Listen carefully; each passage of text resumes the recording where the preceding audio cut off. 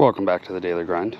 So today I'm going to be fertilizing my radish plants here. These are all radish, different kinds. If you haven't been following along and this is the first time you've seen a video. This bed, I decided to plant daikon radishes, two types, French breakfast radish, the little ball, cherry bell ones, and like a white globe, I think it's called, also cherry bell. You do need to fertilize them. I mean, I guess you don't, you don't really have to, but it is beneficial but you don't want anything high nitrogen because that's going to force it to grow some green veg rather than the bulb underneath. And, and what you're harvesting is the bulb. The idea is to put a lot of phosphorus. Phosphorus is very good for developing root growth. And so they're about at the age where I feel like I want to start giving them fertilizer, not super high nutrient soil. So they will benefit from a little bit. So I'm going to mix two things. I'm going to mix this Fox Farm Happy Frog, which is a 573. So it's that's nitrogen. That's how that works. That's nitrogen. This is phosphorus. This is uh, potassium. I'm also going to add to really boost the phosphorus bone meal. Bone meal is 0, 10, So it's all phosphorus. Really simple stuff. All organic stuff. It doesn't matter. You don't have to do organic if you don't want. Stuff does smell pretty bad, I will admit. But anyway, I'm just grabbing a little handful. I'm not going to be putting a lot. I don't I don't need a whole lot of this stuff. I'm just going to put it in between the rows.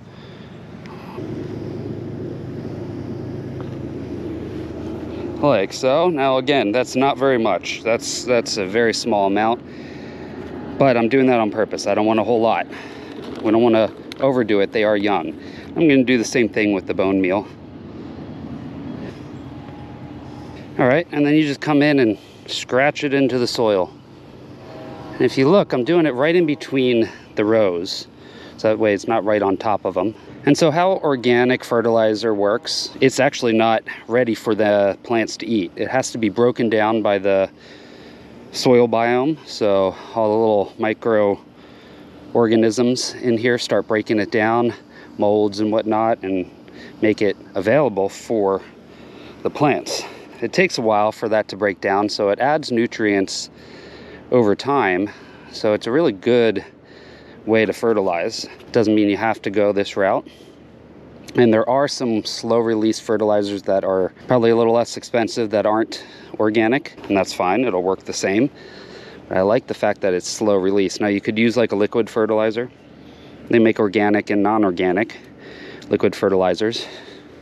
Common one is Miracle-Gro. I'm sure everyone's heard of that.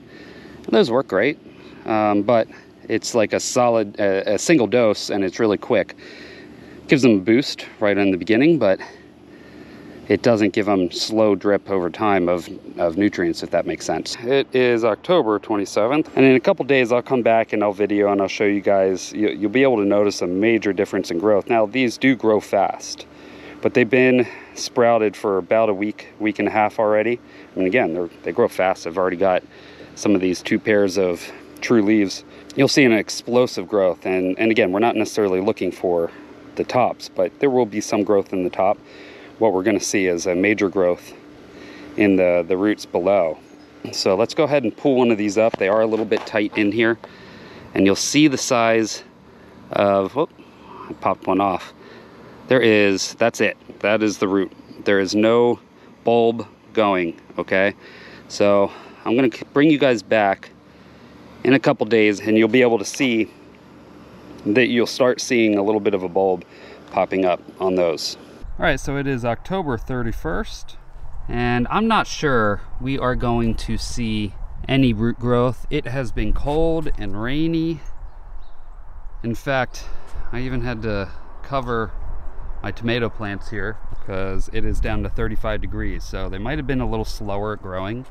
Let's see if we can pull up some that are a little bit too close together. See?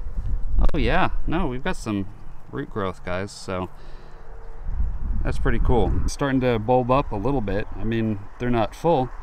It was just four or five days since I added that. So that does work, and I mean, we're seeing a lot more green growth as well. Now, these are fast growing, and you could attribute it to just the fact that they grow quickly, but that was really quick. So I'm gonna thin some of these out because they are starting to grow thick. And we'll come back in a little bit actually on the day of harvest and see just how big these get and how fast. We'll probably come through and harvest all these. These are a 23 or 24 day and that's why I just pulled up here and they are I think going on day 16 right now so we don't have much longer.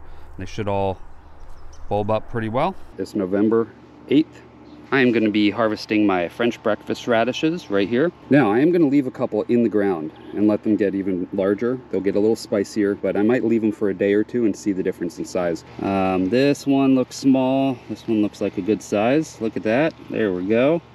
That's about a normal French breakfast radish. So I left 15 in this row that I can harvest in the next couple days, and they grow pretty quick once they start bulbing.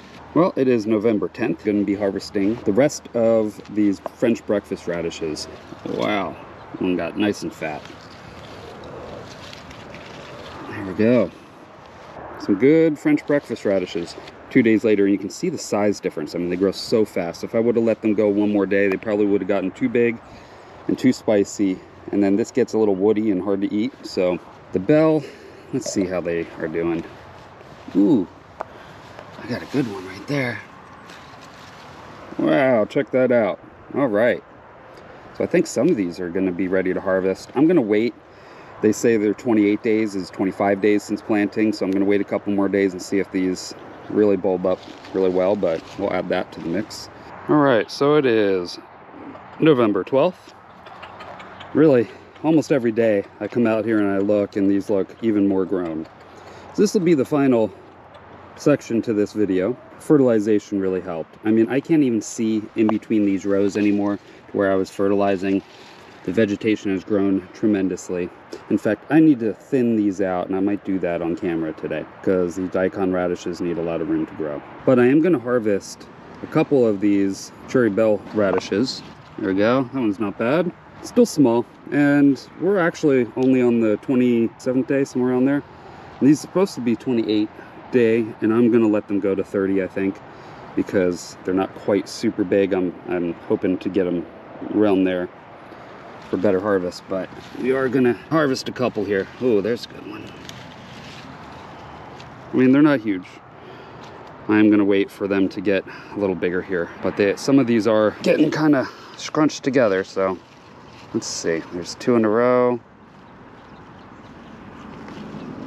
Eh there's not much bulb there and then this row looks pretty good. There, there's enough space there. These white globes are really close together and they get big. So I'm gonna harvest some of those, but not necessarily to eat. I'm gonna give them to my, my birds because I just need to thin them out. That one's starting to form a little bit.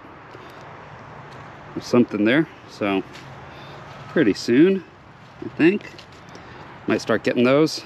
So as you can see, these are pretty close together. So every other one I'm gonna pull up. You see how they look though. I was expecting these to be much longer, so that's interesting. Maybe it just takes a while for them to. You can see the greens on these are getting big, so. Oh, there we go. That's a long one.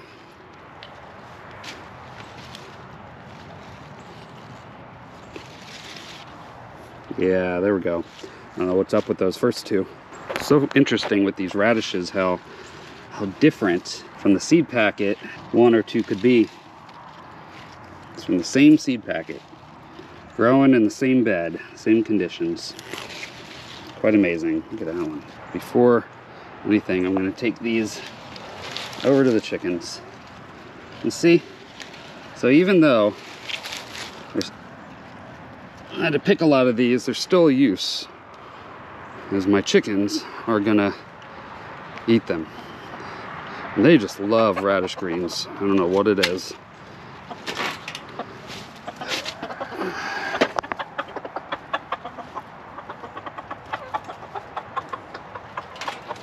Well, it's been a rainy couple days here. So it's so interesting. If you look, this one's short, this one's super long. So I don't know what that's about. So yeah, just amazing explosive growth just by adding a little bit of fertilizer. And I mean, it's hard to say whether or not this would happen with or without that fertilizer, but I guarantee you there is some benefit to it. There's the end of the experiment with the fertilization. I think it didn't necessarily hinder any kind of uh, growth with the bulb, but it definitely added a lot of green growth. In fact, take a look at these here. Take a look at those. And that's a French breakfast radish. And I harvested some French breakfast radishes, and these were planted only a week after. They look real small, comparably, to what these looked like about a week and a half to two weeks ago. So I definitely think this helped. So I'm gonna bring you guys back on another video in a couple days when I harvest these cherry bells here. And then of course I'll bring you back for the daikons and the white globes. Uh, those are much later though, so that takes a little bit probably another month from now before I can harvest those or those. But I should be able to harvest these baby bells pretty soon. Also, check out another video of mine which should come up soon. But I planted some onions in between each of these rows. So I'll have that video come out in a couple days and probably a couple days after the harvesting of all these different radishes. Thanks for watching. My experiment with adding fertilizer I definitely think it was a success, and I think I'm going to do that from now on. Definitely saw some immediate growth with it, and they're continuing to just explosively grow. So definitely going to do that. Thanks for coming along, everyone. If you like this kind of content, please subscribe and hit the bell notification for future video updates. Also, hit that like button so the YouTube algorithm suggests these to other people. Definitely would help out the channel, and I appreciate you for that. I will see you on the next video. Now, you guys try to escape the daily grind.